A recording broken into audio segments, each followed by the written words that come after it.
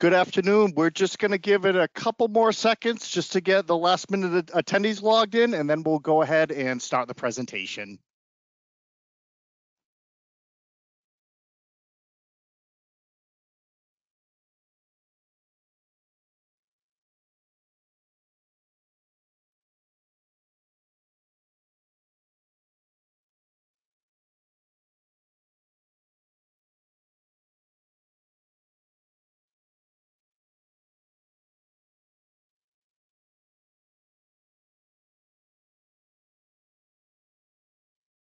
All right. Well, I want to thank everyone for uh, joining us today.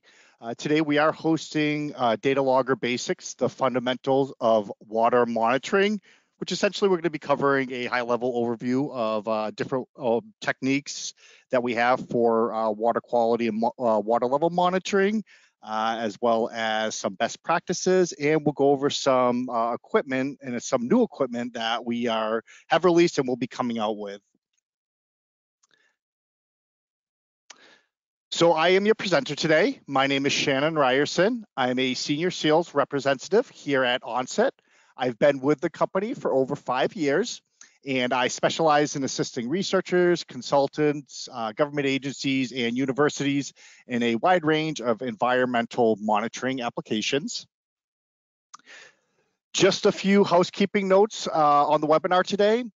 This webinar will run for approximately 45 minutes We'll save five minutes towards the end to answer questions uh, that you may have.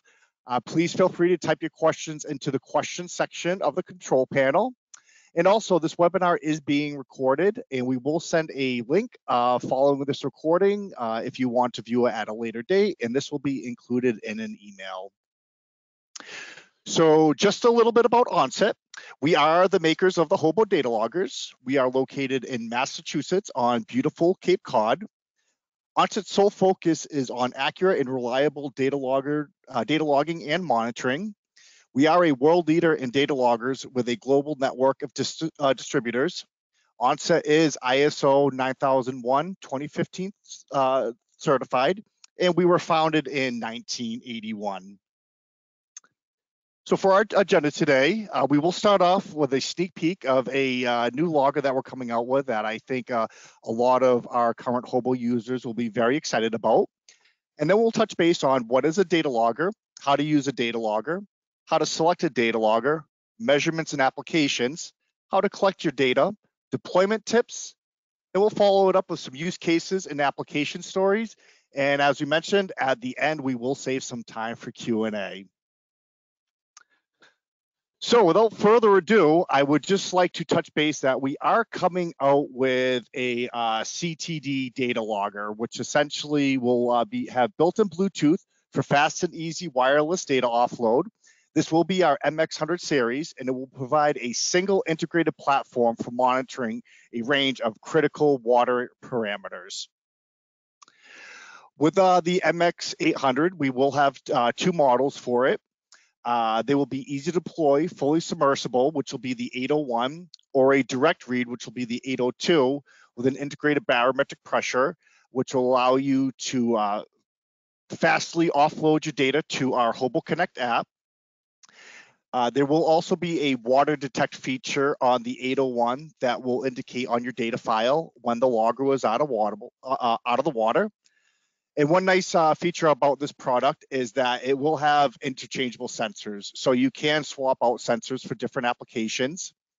Uh, it allows you to connect two sensors to one logger to get measurements like salinity adjusted dissolved oxygen directly. So no need for doing post-processing.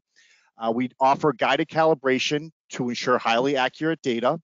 And the logger itself will be less than two inches in diameter, which essentially means it will fit down uh, most stilling wells. Uh, we will have some more information regarding this data logger in the future, so keep an eye on your inbox. You will be seeing some information on this coming up soon. So before we get into the presentation, we always like to start out with a poll question just to gauge uh, who's in our attendance. So with this one, uh, our poll question is, are you currently using data loggers?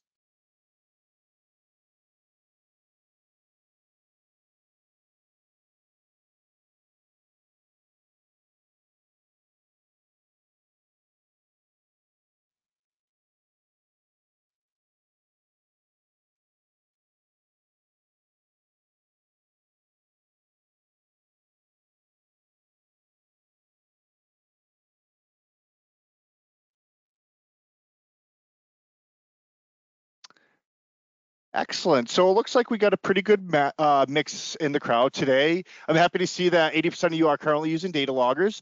Uh, so some of this may be a, a, repeat of information that you already know, uh, but there will be some new products that we will be discussing. So hopefully you'll be able to take something away from it. And the rest of the 20%, I think you'll find this presentation very helpful on selecting and deploying data loggers for your upcoming projects. So what is a data like uh, a data logger? A data logger is essentially an electronic instrument that records measurements at a set interval over a period of time. Uh, typically, data loggers are a compact battery-powered device equipped with internal microprocessor, data storage, and one or more sensors. Data loggers can be deployed indoors, outdoors, and underwater. And data loggers can record data for up to years at a time unattended which essentially means that they are uh, low maintenance uh, devices. So how to use a data logger. Uh, step one would be to download and install your software on a mobile device or computer. After that, you would connect the data logger and launch the parameters. Then you'd place the data logger in the desired location and record that data for a set period of time. Once you're done with the deployment, you essentially reconnect the data logger to your mobile device or laptop and then you download and read out the data file with analysis software. So here are some common uh, questions to think about when you are choosing a data logger. First one is, what do I need to measure? Where do I need to take this measurement? And how long do I need to record for? Also, is this a one-time situation or is this part of an ongoing project or something you'd like to keep in your toolkit for troubleshooting? Also, how often will I need to access this data and how would I like to access it?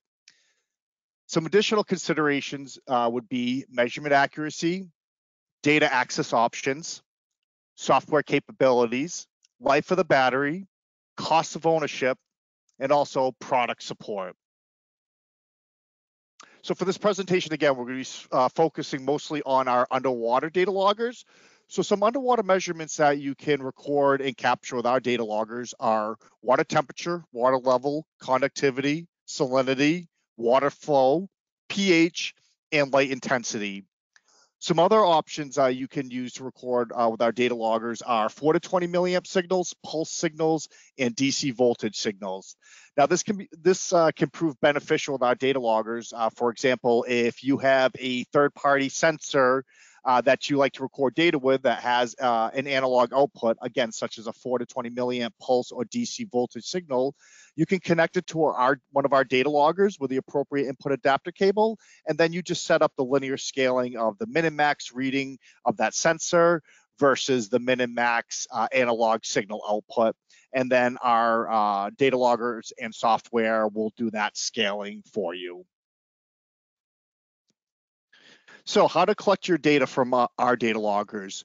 And we essentially have three different options. Our first option is optical communication.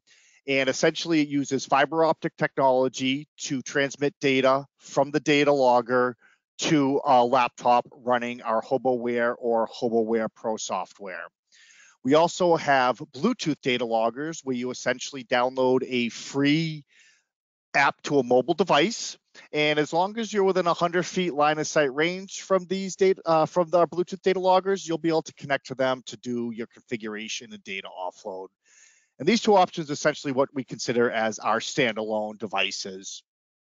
We also have web-based remote monitoring stations, which communicate uh, to our cloud-based platform over a cellular, Wi-Fi, or Ethernet connection, which essentially gives you remote access to this data as well as the ability to receive remote alarm notifications. With our standalone data loggers, uh, this essentially gives you uh, manual data access either over uh, USB, uh, fiber optic or optical communication device, and Bluetooth. These are highly accurate devices. They're easy to deploy. They're extremely durable. And one of the biggest features is that they are cost-effective solutions. And these could prove beneficial if um, especially if you know you're on a budget and you need to have multiple data loggers uh, deployed over a large area to give you a better data profile um, you know of the estuary you know stream river or whatever you're trying to monitor. Again this gives you a great cost effective solution for being able to record multiple data points uh, in a given area so our HoboWare Pro software is what you would use with our optical uh, devices as well as USB. And uh, the, the software is essentially what you would use to configure the logger and read it out. And configure the logger essentially is setting how long you want it to record for, how often you want it to take a measurement, if you want to set any alarm parameters, um, and also if you want to do a set start and stop time. This also provides scaling to real world engineering users, uh, units. Uh, out of HoboWare uh, Pro, you do get presentation quality graphs. And these data files are easily exported uh, to text or Excel format, so essentially a CSV or an XLS file. And we also include time-saving tools for fast setup and data offload.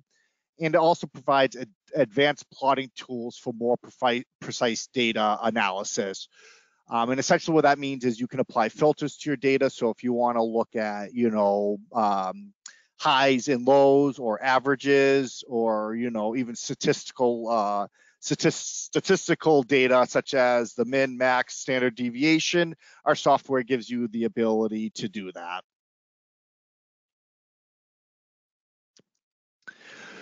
So just to continue on with using our uh, HoboWare Pro software with some of our standalone optical and USB data loggers, uh, we have simple menus for fast, easy logger setup and re readout.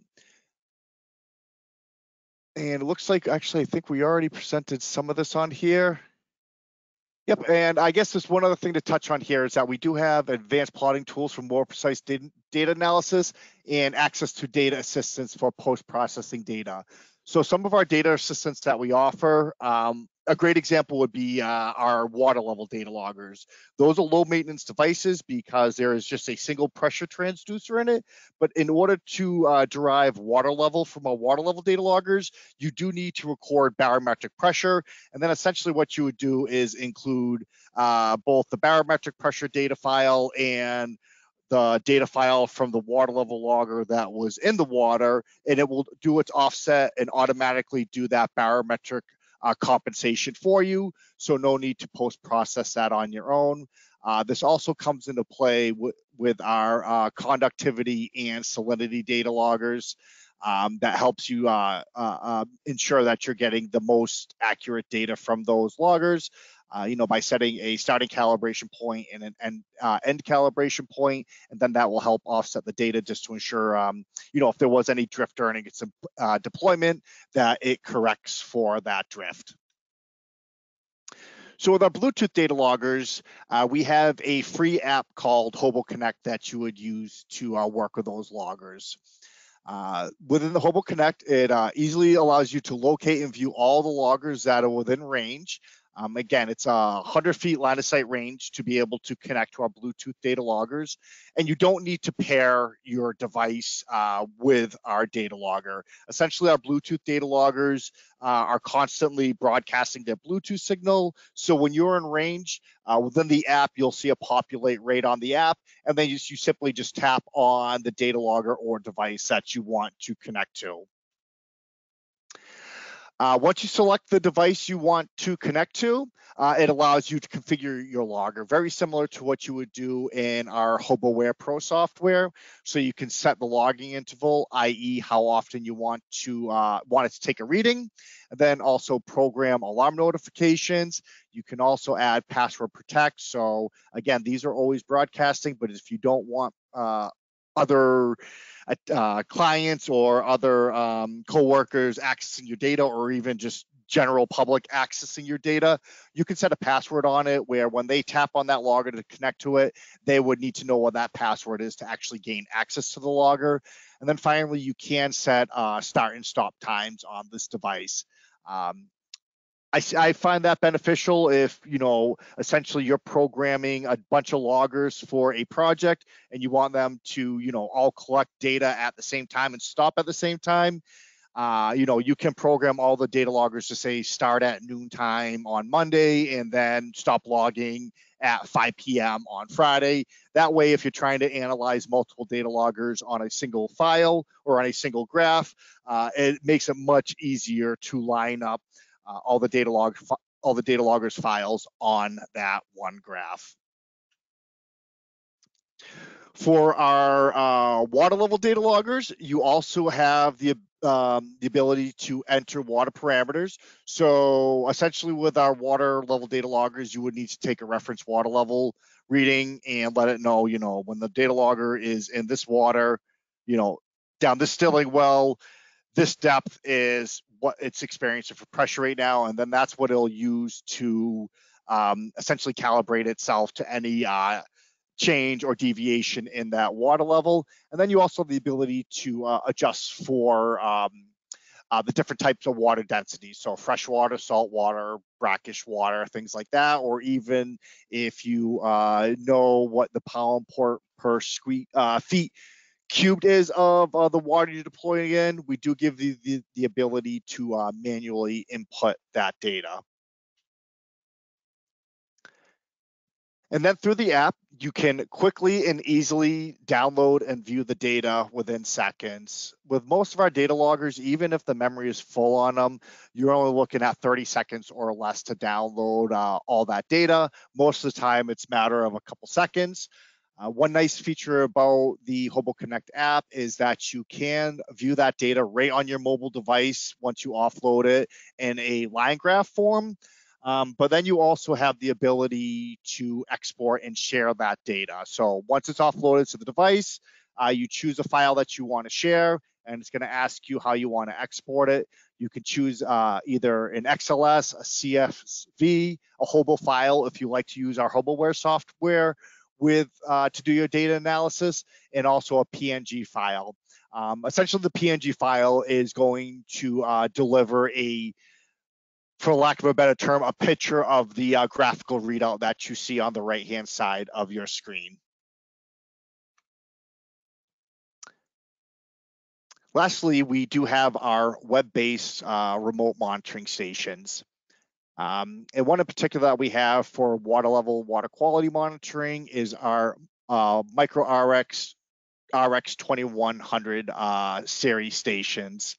These are small, compact, versatile, low-cost stations that communicate to our HoboLink uh, cloud-based platform uh, through a cellular connection. Uh, these are intended for outdoor monitoring applications and they do have a built-in 1.7 watt solar panel. The MicroRx water level station does come with a built-in uh, barometric pressure sensor and a water level and flow uh, sensor. So essentially the station is going to do that barometric pressure compensation for you at the station and you don't have to worry about doing that post-processing. Uh, the next step up for that would be our flagship RX 3000 remote monitoring station. This is a robust, flexible, rugged uh, station with cellular communication options to deliver its uh, data to our cloud-based platform, HoboLink. I always like to uh, say that this station is more of a modular device. Um, and I usually lean towards this station if you're going to be using this on multiple products or it's not like a permanent ins- installment. One reason being is that inside the RX3000, there's two module uh, ports that allow you to integrate um, all of the uh, uh, RX modules that we have available for it. So we have an RX water level module, our uh, wireless sensor manager. We also have an analog module that would allow you to connect third-party sensors that output an analog signal, and it also provides excitation power to those sensors. And then we have a relay module as well that you can connect to it. Uh, the analog module, it does have four channels on it, so you can connect up to four sensors that output, uh, you know, a 4 to 20 milliamp or DC voltage signal. And again, it does reply, uh, um, it does uh, supply excitation power to those sensors. So no need, no need to worry about powering those off a separate power supply. All of our stations, uh, I should say all of our RX stations, regardless if it's uh, the 2100 series or the 3000 series, allows you to connect up to 50 of our wireless sensors. Uh, each of those wireless sensors do have a range of about 1500 feet to 2000 feet line of sight. And they also uh, form what we call a self-healing mesh network. So if for some reason a sensor is out of range from the RX station, uh, it can actually pass its signal through other sensors in line, making up to five hops to get that signal back to the RX station. And this is another product that I'm excited and happy to uh, introduce to you if you if our attendees weren't all already aware of it. But uh, just towards the end of last year, we have finally released a true HoboNet water level uh, sensor. So it is a wireless sensor that uh, wirelessly transmit it transmits water level data back to our RX stations. Um, just like our standard water level data loggers, this is a non-vented design, so it reduces maintenance. Again, no need to be cleaning out vent tubes or worry about those getting clogging or anything like that. Um, they are durable ceramic sensors, so they can withstand freezing. Uh, just like our U20 data loggers, these do come with a three-point NIST traceable calibration certificate. Um, and one of the nice features about this is that this provides real-time insights via customized dashboards to uh, HoboLink, leaving delays in your uh, getting your data in the past. Also, there's no data loss due to user error with uh, temperature compensated pressure readings for accurate, reliable information and uh, HoboLink Cloud dashboards for an in-depth data analysis and smarter uh, decision makings. Uh, I see this proving very beneficial for people who are monitoring estuaries or um, maybe wetland mitigation, things like that. This allows you to take multiple readings over a large area and have all that data sent back to one localized platform. Uh, the cables are uh, Kevlar reinforced, and they do have a uh, integrated strain relief uh, mechanism in them. So with our uh, remote uh, monitoring stations, you do all of your configurations right within HoboLink, which again is our cloud-based web application. So from there, it's very similar to what you would do with our standalone data loggers. Um, you uh, it gives you the ability to set how long, how often you want to take a reading, um, reference water level readings, um, things like that, and as well as the ability to set alarm notifications. So what you're seeing on the right, uh, the left-hand picture is setting a sensor uh, alarm on here. So this particular one, uh, for this water level sensor, they want to receive an alarm via email if the water level goes above seven feet for two uh, log data points. Uh, right below that, you can see that is five minutes. So essentially after 10 minutes, if this water hasn't subsided below seven feet, it will send out that instantaneous notification via text or email, letting you know that there has been an excursion uh, on that sensor.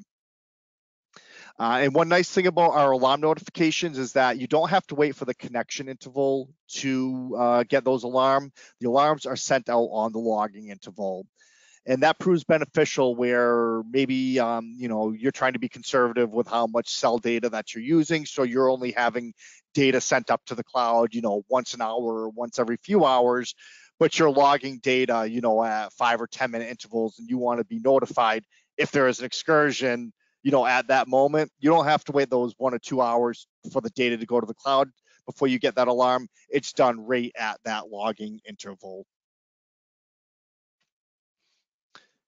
And within HoboLink, not only do we have an overview section, which essentially shows you what the last readings were from the data logger, uh, you also have the ability to create dashboards. Um, so essentially any uh, device that you have sending data to HoboLink you can apply those uh, data sets uh, to a, uh, a widget on the dashboard in HoboLink. So it allows you to clearly see the information that you need. And also you can easily share these dashboards with other, and it's simply share a link or embed this in a web page. Uh, within HoboLink, we do have what we call a public URL for both uh, the overview section and our dashboard section.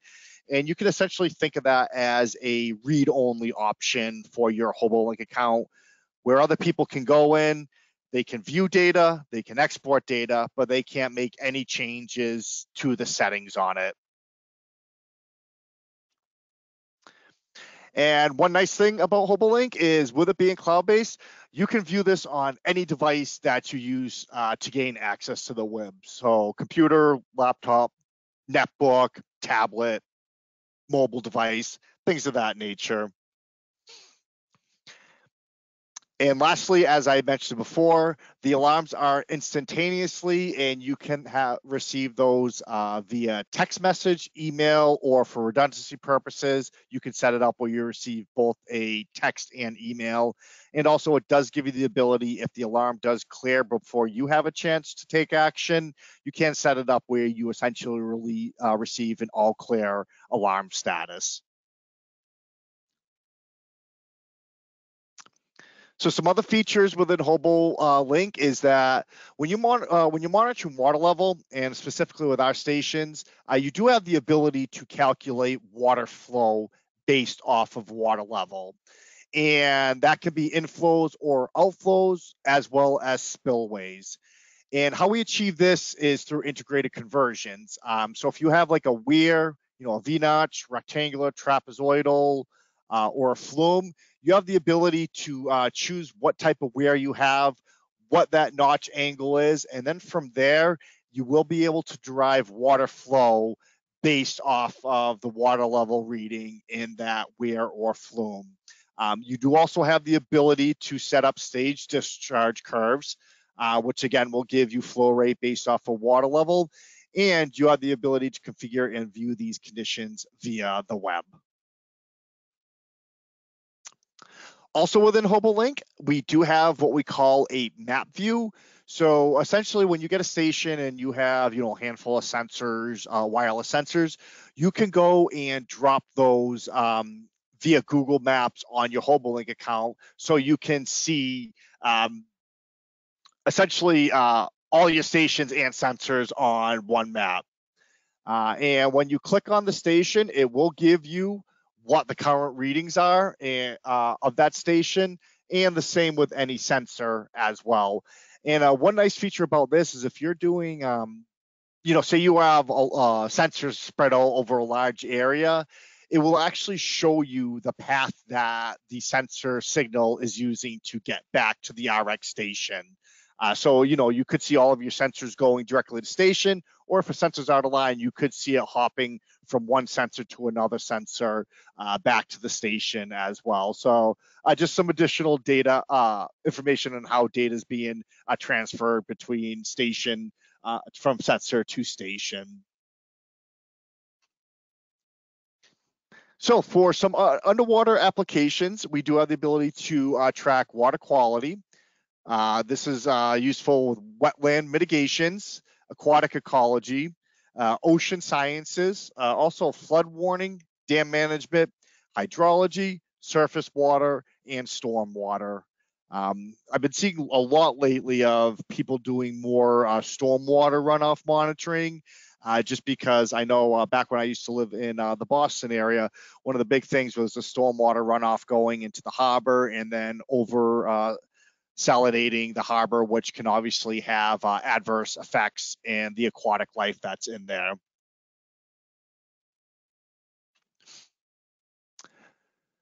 So some tips for underwater deployments. Um, as you can see from the picture off on the right hand side, we always recommend, if at all possible, always protect your data logger. We do sell those protective casings. Um, it essentially is just PVC pipe with some caps on it and holes drilled into it.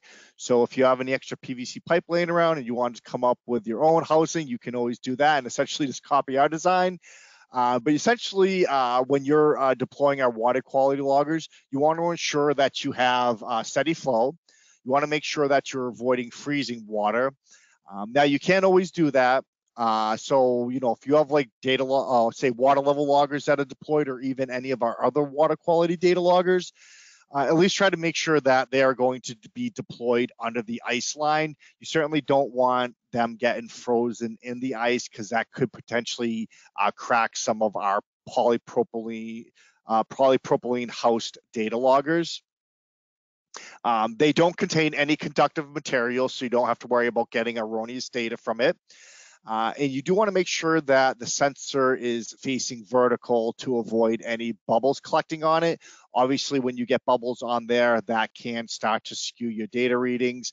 And then lastly, we do sell our uh, PVC uh, U2X housing for $46 just to ensure some additional protection this these prove beneficial if you're deploying these, you know, say in a fast moving stream where you have a lot of debris going through it, such as rocks, stones, things like that. That will protect it from hitting the dam, uh, hitting and damaging the data logger. So some additional deployment tips for uh, mounting is uh, people get very creative with this. I will say that off the bat. So uh, some common tips are mounting them on top of a rock or you know a, a cement slab or a cinder block. Um, some advantages to this are is that it's less visible if you do it this way uh, because you know it's out of sight, so reduces the chance of vandalism. And then it's also out of the way of boat traffic if you're deploying these in areas where, um, you know, say in a harbor where there's boats going in and out. Um, however, you do want to make sure you want to be able to find them. So maybe using some type of a visual marker or a landmark, or even if you have like um, a GPS enabled device, you can always put a pin on there on where this is. So when you go back out to the site, uh, you can easily uh, find them. If you're doing these in deeper water where you don't necessarily have the ability to secure it to like a cinder block or something, uh, we do have some other options. Um, the first one, which is very, very common uh, with water level and water quality is uh, putting them down a stilling well. And a stilling well essentially is just a piece of PVC slotted pipe uh, that you can attach to a structure such as a bridge or a dock. You know, you put a well cap on it, get some Teflon coated stainless steel cabling, attach it to that well cap, and then uh, drop the data logger down uh, into the water from there. If you're doing this out in an open channel where you may not necessarily have access to uh, a structure, you can use uh, the tether mount, which essentially would be a buoy on top and anchor weight on the bottom. And then you connect the data logger uh, to a post or beam uh, between those. And then lastly, there's always the post mount option. Um, again, if this is going to be in a heavy traffic area, you would definitely want to make sure that you put a marker at the top of that post just to ensure a boat um, or a personal watercraft does not run it over. And again, the sensor should uh, be facing vertical and at least one inch uh, from any metal to avoid uh, sudden temperature changes um, and also um, if needed, you can always tap to release uh, any bubbles that may build up on it. So if you do decide to go with the, the uh, stilling well option, we do sell two inch uh, well caps. Um, and if you don't have a two inch stilling well, you could always get a um, an adapter like an expander reducer to attach our well caps to. One nice feature about our well caps, especially with our uh, water level sensors from the RX station, is that, there is a tension release uh, relief uh, system built into it. So it helps from the cable getting too stretched out. Um, and also it gives you the ability, an easy uh, and simple way to uh, deploy the logger down that stilling well without having to, you know, um, get any additional uh, cable or a thing like or rope or something like that to uh, secure the sensor too.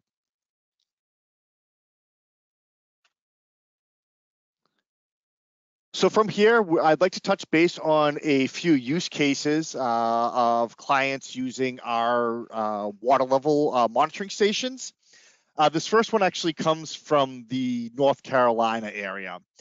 So in North Carolina, the Department of Conservation and Recreation helps dam owners manage more than 100 dams throughout their region. Uh, monitoring high water levels at dam sites is a critical responsibility for dam owners.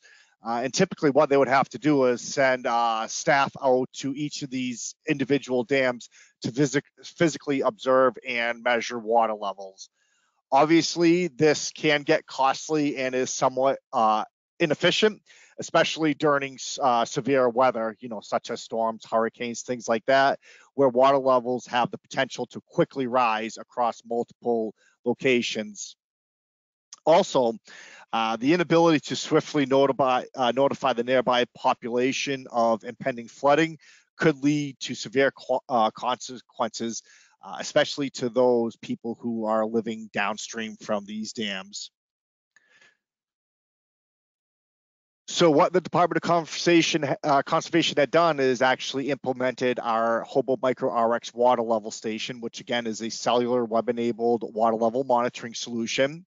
Uh, this compact, competitively uh, priced station uh, withstands deployments in harsh conditions and provides reliable monitoring. Uh, with the station, you have the ability to monitor water flow as well as accumulated rainfall calculations, which can be used to trigger immediate alarm notifications if critical uh, water level conditions arrive. Uh, the Hobo Micro RX station also uh, supports a wide range of our plug and play sensors uh, for flexible environmental monitoring. And again, that could be um, one of our rain gauges or you know, temp RH sensors, soil moisture sensors, things like that to really give you a good idea of uh, what the conditions are in these areas. So the results from this was uh, since installing these micro RX stations at each of the site's dams locations, the department, along with the dam owners, is now monitoring uh, this information remotely via HoboLink. They now rely on the remote alarms uh, to notify them instead of sending staff out so they can take quick and pointed response actions if needed, i.e. the water levels getting too high, you know, they can send out the alarm that people may need to prepare for flooding or something like that, or even to eliminate that, be able to maybe open up the dams or uh, discharge the water somewhere else to prevent a flash flood. Um, at this point, physical op uh, observation and measurements have been virtually eliminated, saving them time and money. And now this has allowed them to divert these resources to be deployed elsewhere. So again, a win-win situation all across. Um, another application story we have, uh, which kind of goes more into our water quality data loggers, is um, I'm not sure if anyone has heard of the Billion Oyster prod, uh, Billion Oyster project, but they are using our conductivity, pH, and DO loggers um, to help uh, restore uh, the oyster population in New York. And um, essentially, um, the issue that they're having there is due to years of over harvest, uh, over harvesting and pollution uh, within the New York harbors, um, it essentially left the oyster population uh, depleted there. Um, and a fun fact about oysters is they can actually filter up to 50 gallons of water per day. So that certainly can help clean out some pollution that is uh, within the uh, body of water there. Um, so in 2014, uh, the Billion Oyster Project was launched, and with the helps of uh, volunteers, partners, and students, uh, the team leading the Billion Oyster Project is dedicated to restoring oyster reefs all around the New York Harbor. Um,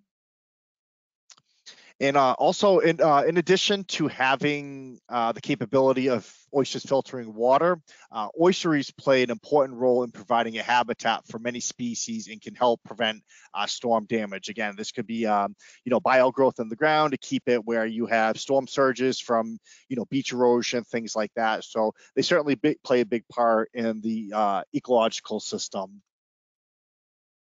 So to help achieve their goal of rebuilding the New York uh, harbor to a plentiful self-sustaining estuary, the Billion Oyster Project team uses uh, Hobo data loggers to monitor water quality at their restoration sites. Salinity is a very important measurement as levels can vary greatly from site to site. And this is coming from uh, one of the researchers here. As we install reefs, it is imperative that we test various restoration methods, continuously evaluate our Im impact, and adapt in response to our discoveries. This creates scalable best practice for oyster, uh, reef restoration in challenging environments. So by using Hobo data loggers to map water quality at each location, uh, this can provide insight into the growth, growth and health of these oysters. The environmental challenge of restoring oyster reefs provides researchers and students with an opportunity to not only use science um, to explore the ecosystem, uh, but they can do this right in their backyard. As of today, the Billion Oyster Project project team monitors 15 active oyster reefs over five boroughs in New York Harbor and has successfully restored 47 million oysters there. So kudos to them. They're doing great work uh, with our data loggers, and we are certainly excited uh, to be uh, part of uh, their success story here. So with that, uh, we've actually come to the end of the presentation, and what I would like to do is, I see people have been uh, submitting quite a few questions uh, while we have been talking, um, but I would like to open this up to the last five minutes just to go over any questions uh, that you may have.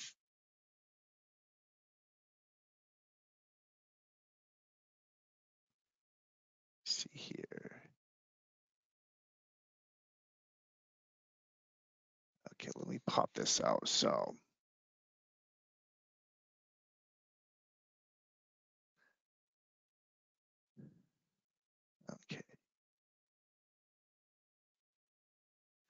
Okay, so I see one question here that we have is, what are the main differences between Hobo Optic uh, USB station and the waterproof shuttle? Are you able to redeploy the U20 logger with either device?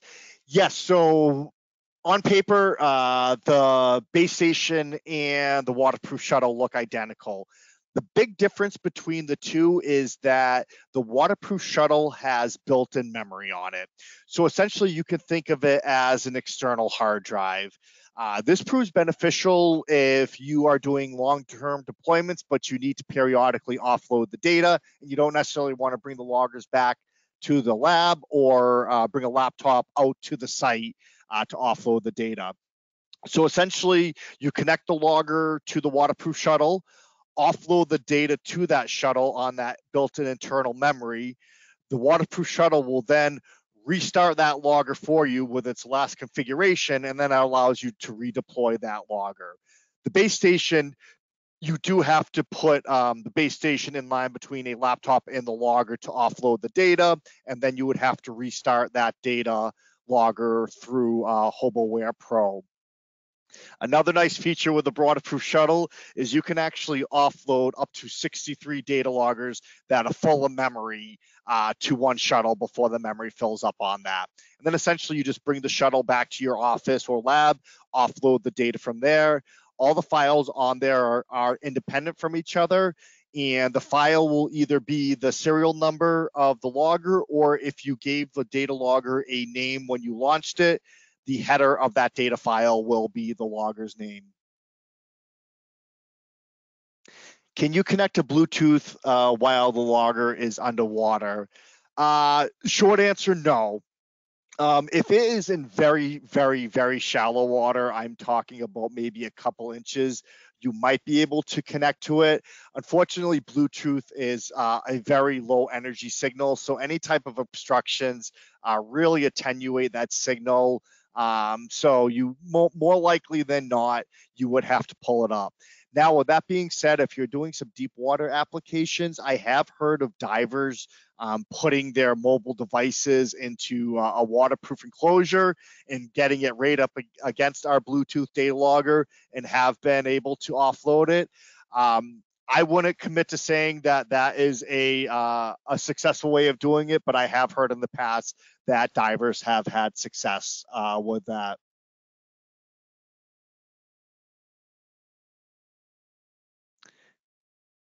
Let's see here. Yep, I see we had a copy of someone uh, wanting a copy of the webinar after uh, copy of this webinar after this. We will certainly uh, send this out. Okay, let's see here. If I use a homemade protective housing for my loggers. Does the color of the PVC matter for temperature? We typically recommend using white because white is going to disperse uh, the sunlight as opposed to absorb it. Now, if this is deep under the water, the light's not going to have um, an adverse effect if you did paint it black. But if it's close to the surface, um, it can it can skew the data because you know the sunlight could potentially warm it up.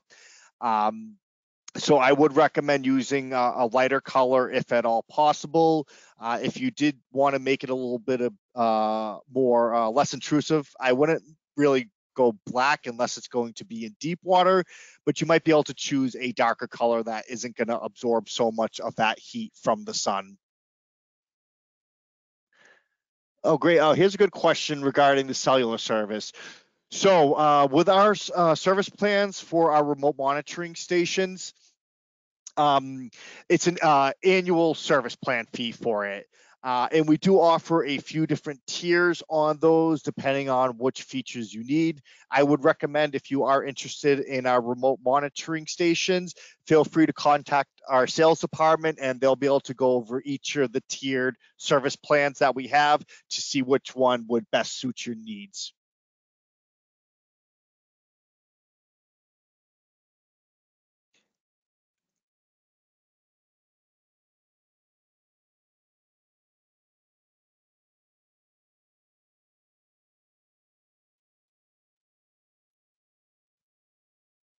Okay, I see. Do see another one about wastewater applications. If our loggers are intrinsically safe, we used to we used to sell an intrinsically safe data logger, but um, ours aren't rated as intrinsically safe devices. That being said, I do know many wastewater plants that are using our data loggers. Um, this is usually after the water has been processed. If you are looking to do any type of water quality monitoring pre uh, processed water, uh, reach out to our sales team. Uh, you can have a discussion with them and they'll be able to ascertain if um, our loggers would be a good uh, solution for your application or not.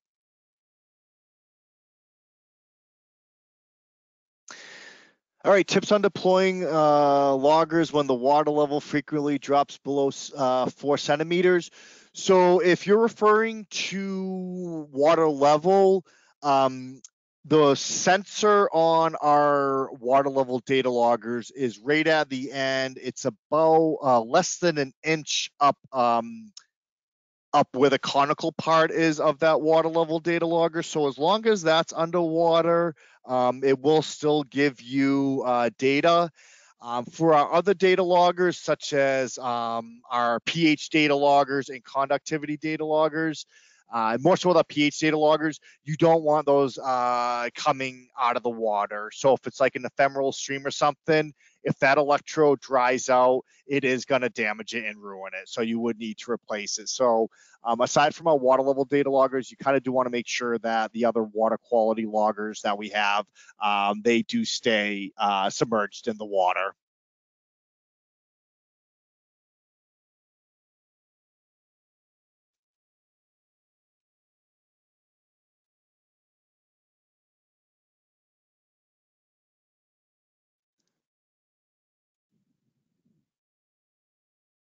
Okay, I see someone asking you about what is the shuttle product number. Uh, the base station is our base dash U dash four, and the waterproof shuttle is U dash DTW dash one.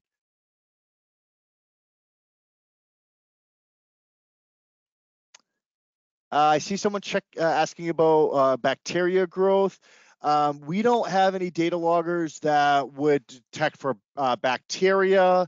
I do know that a lot of researchers uh, monitor um, conductivity, salinity, and DO as a way to uh, ascertain if there's going to be a large algae bloom or not.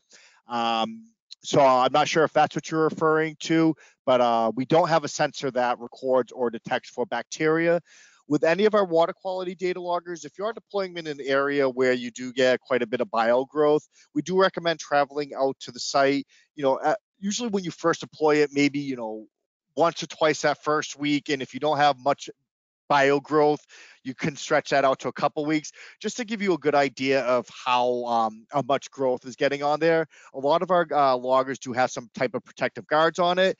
Um, to help with biofouling. Uh, but checking on the loggers will kind of give you a good idea of how frequently you need to go out there and clean off any type of growth on our data loggers. we I see someone ask about phosphates and nitrates. That is a common request that we get. We don't have a sensor for that yet, uh, but it is something that our engineers are looking into. So hopefully that is something we can add to our collections.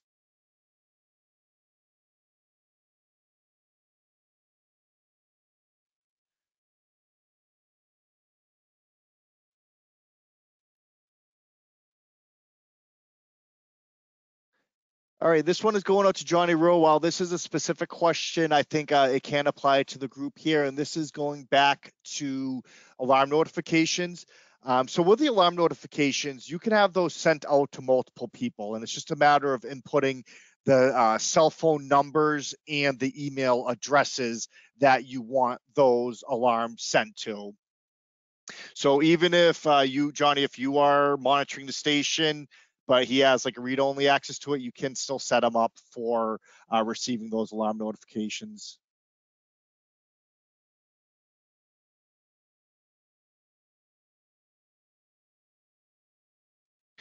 Oh, I see a good question here. Yes, about calibrating the pH and DO loggers. Um, so with the, the pH loggers, uh, you do a pre and post calibration on them, and that will actually offset any uh, drift during the deployment. Uh, but at the very least, uh, after every deployment, we recommend that you do uh, recalibrate those loggers just to essentially uh, give it a fresh calibration for its next deployment because obviously water, um, the water quality may be different on its new deployment versus where it was uh, previously deployed. I, uh, another great uh, another great question on um, how to protect them from animals. Uh, and this goes back to uh, whatever you can do to protect it. So I have seen people where they're maybe they're in a remote uh, location with like our RX water level station, and you do have that cable that comes from the station down to the sensor. One easy way to protect that is uh, split conduit. Um, you could also get some thin PVC piping um, to slide the cable through that and then attach the sensor on the other end, uh, just to uh, help um, avoid animals or critters, you know, chewing on your cable. Obviously, when you introduce an outside element to uh, a creature's natural habitat, they are going to be curious and they are going to chew on it. So any way you can uh, uh, protect the sensors or cables, um, we always recommend doing that.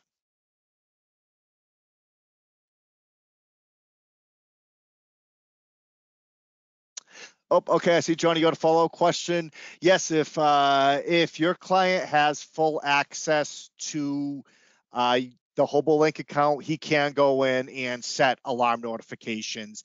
Um, and then another follow up to alarm notifications is that the alarms are independent sensor to sensor. So if you set up an alarm on, you know, say one water level, um, one of our wireless water level sensors, uh, that doesn't go across all the wireless water level sensors that are connected to the station. Uh, each sensor has its own independent alarm that you can set up for it. Uh, so I hope that answers your question. Uh, how many people can connect their computers to the same, to observe a single piece of equipment? Uh, with our Bluetooth data loggers and our remote monitoring stations, uh, multiple. I don't think we have a limit. Um, I think anyone essentially can connect to those devices. Now, only uh, with our Bluetooth data loggers, only one person can offload data at a time, but uh, multiple people can connect to both our Bluetooth data loggers and our remote monitoring stations uh, to view the data.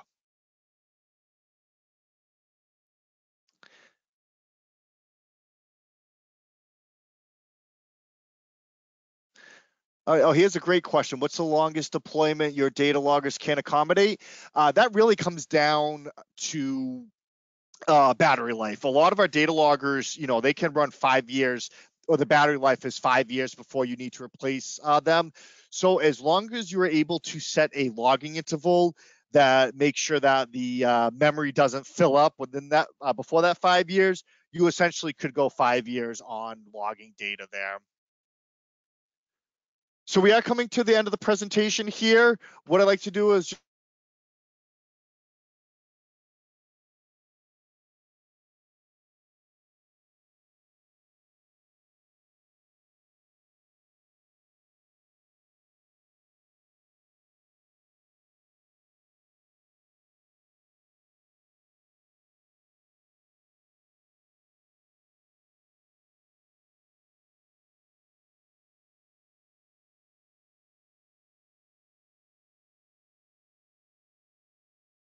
Hey everyone, uh, this is Lauren with Onset. It looks like we may have lost um, Shannon, but it looks like he was going to be wrapping up with our contact info. Um, so if you have any questions, please feel free to reach out. And as he mentioned, um, this recording will be sent out by email in a couple of days. All right, thank you everyone and have a great week.